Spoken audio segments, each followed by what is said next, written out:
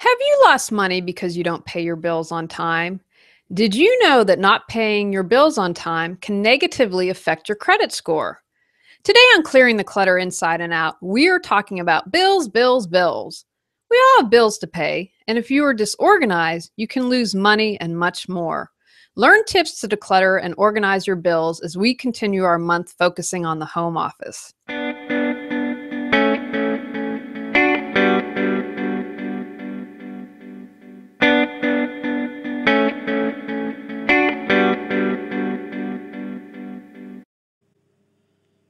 Welcome to Clearing the Clutter Inside and Out with Julie Coraccio.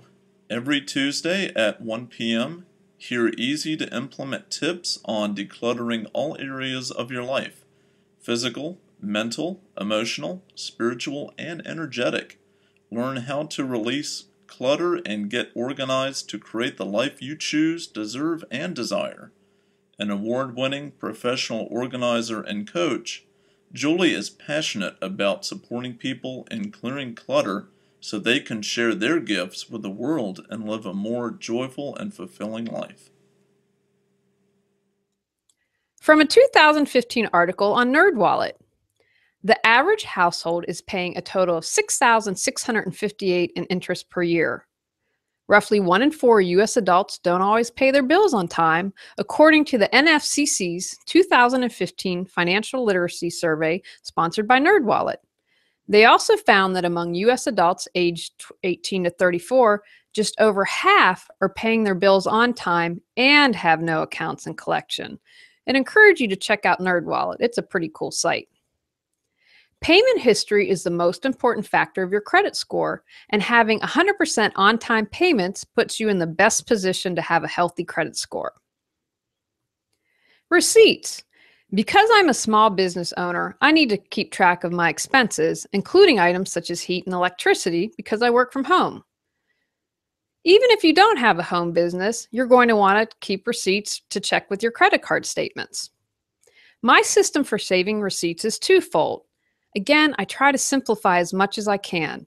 If I have a paper receipt, I have a folder for the year.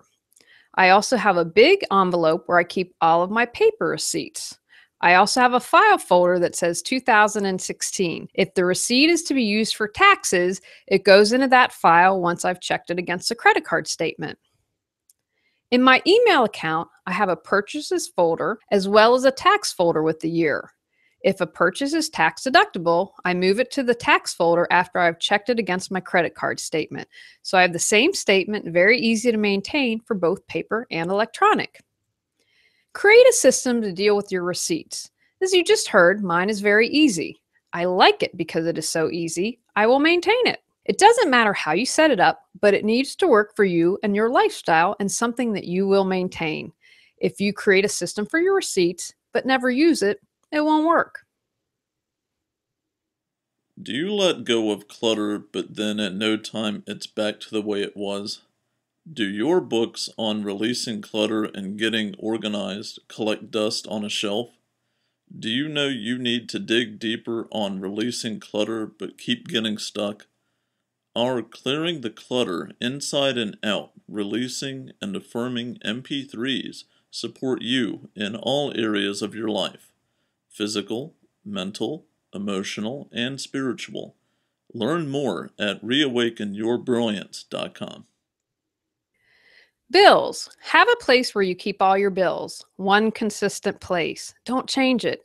Keep it the same place so you know where your bills are. My first tip is to open your bills.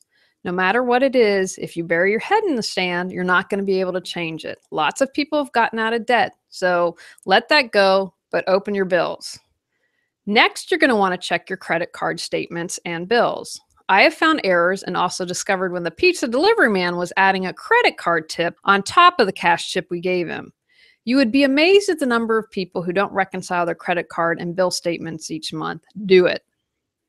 I encourage you to open your bills as soon as you receive them, so if there are any issues, you can correct immediately and still have your bills get paid on time. In my household, I pay the bills. If you're married or sharing a household, I suggest leaving it to one person. Make sure you have a system that everyone can easily use. Maybe you take turns every other year so not one person is in charge of paying the bills forever. Or if something were to happen to someone who mainly pays the bills, you want an easy to use system that the other person would be able to start using immediately. Choose two times a month to pay bills. Most people do it on the 15th and 30th, along with getting paid, but do what works best for you. Two times to pay bills monthly should have you covered. Establish a set place for paying your bills and find a place to store your checkbook, pens, stamps, and envelopes. Return them to the same place every time you use them. Tips Put your account number or your insurance number when paying by check so if your bill gets separated, your check can be applied to your account. Mark tax with a colored pen in your checkbook or make a check mark so you can easily find tax deductions. Electronic bill paying. Many companies have moved to accepting online payments, and this can save you money with no more stamps and usually saves you time as well. As with paper bills, you need to set up a system.